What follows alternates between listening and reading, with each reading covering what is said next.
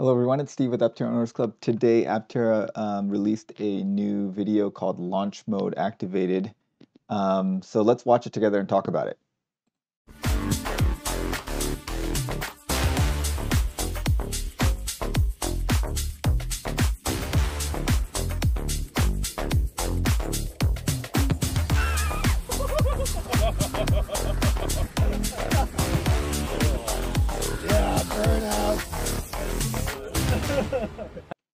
Okay, so I think the looks on those people's faces says it all. Um, it must launch really hard. When I took a ride in beta, it was kind of a detuned engine, and it still launched pretty hard. And so it, it must launch way uh, more aggressively now, uh, based on the looks on their faces. Um, I asked Chris McCannon on the Discord channel if they had any specs, and they said they weren't releasing any specs right now but uh, they would release some specs, and um, you know it's pretty close to the uh, the purported four four second zero to sixty time, or maybe a little better. Who knows? Um, but they weren't releasing specs quite yet. Okay, so this is Bastian, one of their interns. Hi Aptera fans, uh, I'm Bastian. I was working for Aptera as an intern for the past five months and I was working on the VCU development for our new production intent controller. VCU stands for... Okay, what the heck's a VCU? Um, just like you guys, most of you guys, I'm not an automotive engineer, so I did not know what a VCU was. So I looked it up. So a VCU uh, looks like this. It's got, it's usually a, like an aluminum case. It's very small and has a bunch of CAN bus connections on one side. So this is one by um, a company called Ampere EV, who looks like they do um, retro, like EV retrofits of vehicles. Um, here's a Bosch uh, VCU. So you can see it looks very similar. Uh, here's one from Continental, also looks very similar. Um, Texas Instruments is saying that they're going to help you develop the VCU. This is one by Resolve EV, also looks very similar um, and has uh, uh, aluminum casing with CAN buses here. And if you look, they have a wiring diagram and it tells you like what it all outputs to. You know, connects to the throttle pedal, the brake pedal, the BMS, the power delivery module, and inverter and ignition, all kinds of stuff. So it basically controls everything. If you look at uh, the Ampere EV thing, you can see um, the VCU will connect to the high voltage junction box and the CCS uh, charge controller, battery pump motor cooling, AC compressor, heater, charger, the BMS, motor inverter, the DC fast charger, um, graphical interface power distribution module. So it basically is like, kind of like the main control unit for the vehicle. It's which is surprising because it's quite small and it's not that complicated. I think um, it, the thing must be programmable, um, and there's probably some kind of like uh, read-only memory chip in there that you can like load the different uh, software packages into it to to change the behavior of the VCU. And it looks like Aptera has been making their own VCU. Our vehicle control unit uh, it's responsible for controlling torque requests uh, from the vehicle. It's determining uh, if safe states are necessary and what kind of torque values should be uh, commanded uh, at the current speed and accelerator pedal position. While Gamma is traveling the world, we got our new production intent vehicle control unit and we decided to put it in beta for real world testing. So obviously they have outsourced their VCU they basically had the hardware designed and one of their suppliers is uh, providing them a prototype. And since gamma was in europe they put it in the beta vehicle to just uh, check it out and then play with the settings.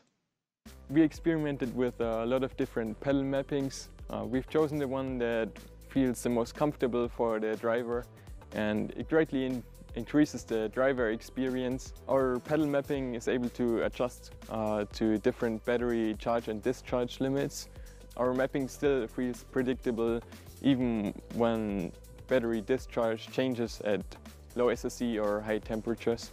We okay, so the way I understand that is, is they basically have the VCU control um, like how the pedal responds because if it was linear to the battery when the battery is like low that has a low state of charge, or SOC as Bastian calls it, then it would not deliver the same amount of voltage, and then you would have a dif different response rate of the pedal based on where the battery is, like temperature wise and state of charge wise. But basically, I guess their VCU, and I guess I think this is pretty common across all EVs, the, the VCU controls for that and gives you the, the vehicle the same response to your pedal um, no matter what the uh, state of charge and the temperature is. We've added a lot of new features. Uh, the new VCU now has a launch mode and an effortless transition from going reverse to forward. To enter the launch mode, you just have to press accelerator and brake pedal at the same time. And once you release the brake pedal, it will launch you.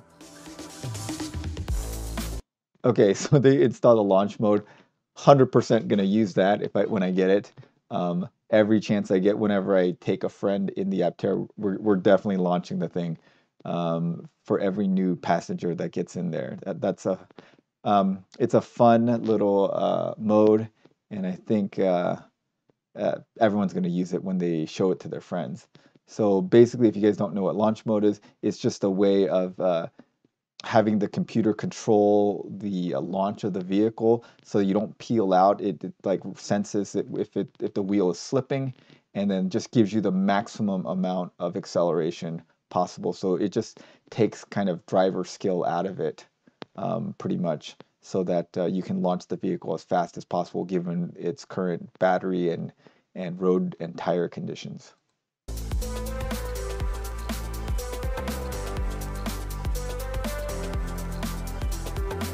We also worked on a torque rate limiter so we get the best acceleration possible uh, by reducing wheel spin. Yeah, my favorite feature is the forward to reverse transition. You can enter the forward drive mode even when we are rolling reverse slightly with up to 5 miles per hour. And once you press the accelerator pedal, it launches you smoothly into a transition to going forward.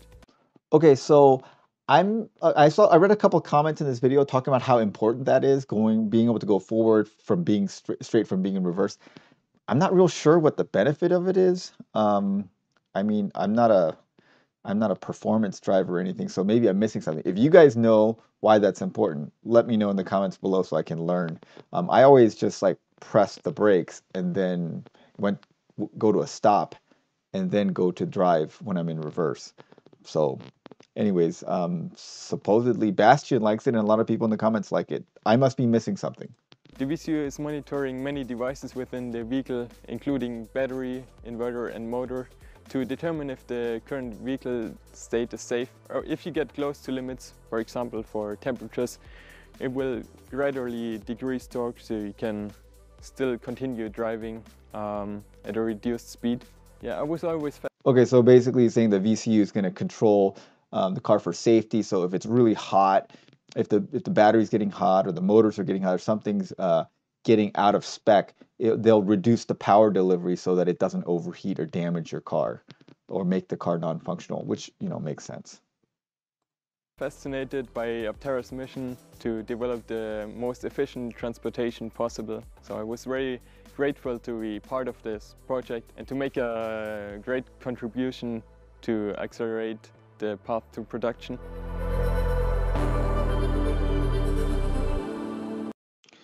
So I, that was pretty impressive acceleration and stop. It was like full, you can see the tires were smoking pretty much the whole time. So I think it's going to be a very, very fun uh, vehicle to drive. And um, I, I think the launch mode edition is just going to be fun to fun to show off to your friends. All right, so um, good to see that they're making progress. So they're working on these other things. So they've made they've worked on the big things that take a long lead time, like the body parts and stuff, and now they're going to work on the stuff that has less lead time. Um, and probably the last thing they're going to work on is the software part of it, because you can work on that right up until production, um, and you can even update the software even after production. So that's probably the the, U, the user interface and the software is probably going to be the last thing they're working on. So good to see that they're still making progress and um, always fun to see people's expressions when they launch the vehicle, which I think um, will be fun to show off to our friends. Okay, thanks for watching, guys. Thanks as always to our um, supporting members and have a great day, everyone.